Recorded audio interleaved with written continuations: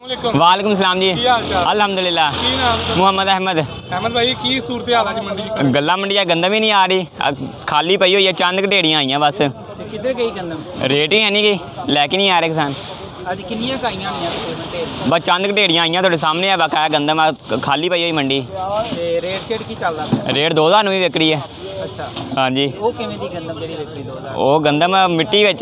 ਸ਼ੇਟ ਕੀ ਚੱਲਦਾ ਪਿਆ? ਰੇਟ 2000 ਨੂੰ ਵੀ ਵਿਕ ਰਹੀ ਹੈ ਅੱਛਾ। ਹਾਂਜੀ ਉਹ ਕਿਵੇਂ ਦੀ ਗੰਦਮ ਜਿਹੜੀ ਵਿਕਰੀ ਦੋ ਦਾ ਉਹ ਗੰਦਮ ਮਿੱਟੀ ਵਿੱਚ ਆ ਕਿਸਾਨ ਸ- ਭਰਾ ਜਿਹੜੇ ਉਹ ਸਾਫ਼ ਕਰਕੇ ਨਹੀਂ ਲੈ ਕੇ ਆ ਰਹੇ ਤੇ ਫਿਰ 2000 ਰੇਟ ਲੱਗਣਾ। ਫਿਰ ਕਿਸਾਨ ਕਹਿੰਦਾ ਕਿ ਨਾਮ ਰੇਟ ਨਹੀਂ ਲੱਗਦਾ।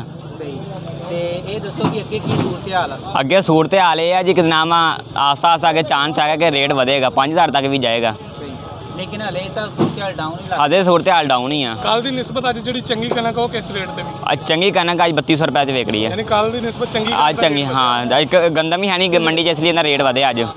ਤੇ ਬਾਰਦਾਨਾ ਵੀ ਮੰਡੀਆਂ ਚ ਆਇਆ। ਬਾਰਦਾਨਾ ਤੇ ਇਦਾਂ ਜਿਵੇਂ ਫ੍ਰੀ ਬਣੀਂਦਾ ਪਿਆ। ਕਿੱਥੋਂ ਆ ਗਿਆ ਇੰਨਾ? ਇਹ ਲੈ ਕੇ ਆ ਰਹੇ ਜਿਨ੍ਹਾਂ ਦਾ ਹੱਥ ਪੈ ਰਿਹਾ। ਕਿਸਾਨਾਂ ਨੂੰ ਤਾਂ ਲੱਭ ਨਹੀਂ ਰਿਹਾ। ਕਿਸਾਨਾਂ ਨੂੰ ਲੱਭਦਾ ਨਹੀਂ ਹੈ। ਆ ਜਿਨ੍ਹਾਂ ਦਾ ਹੱਥ ਪੈਂਦਾ ਉਹ ਪਹਿਲੇ ਲੈ ਆਂਦੇ ਆ। ਸਹੀ ਗੱਲ ਹੈ। ਤੇ ਕੀ ਕਹੋਗੇ ਕਿਸਾਨਾਂ ਨੂੰ ਗੰਦਮ ਦਾ? ਲੈ ਕੇ ਆਣੀ ਚਾਹੀਦੀ ਇੱਥੇ ਕਿ ਨਹੀਂ? ਵੇਖ ਲੈ ਹੁਣ ਵੇਚ ਦੇਣ ਤੇ ਸਹੀ ਆ। ਪਤਾ ਕਨਫਰਮ ਨਹੀਂ ਆ ਵੀ ਇਹ ਵਾਧਾ ਕਿ ਘਟਦਾ ਵਾ।